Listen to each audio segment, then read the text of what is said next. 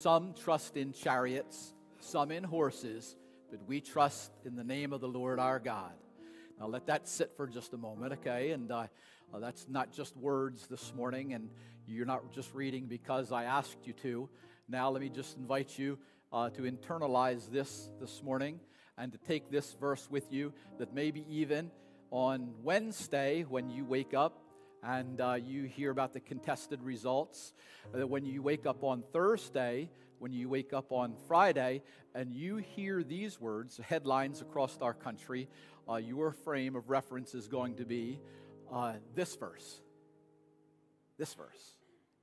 And we place our confidence there as a people of God, as a congregation, and as individuals.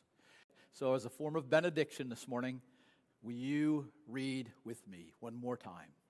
Some trust in chariots and some in horses, but we trust in the name of the Lord our God. Go in peace.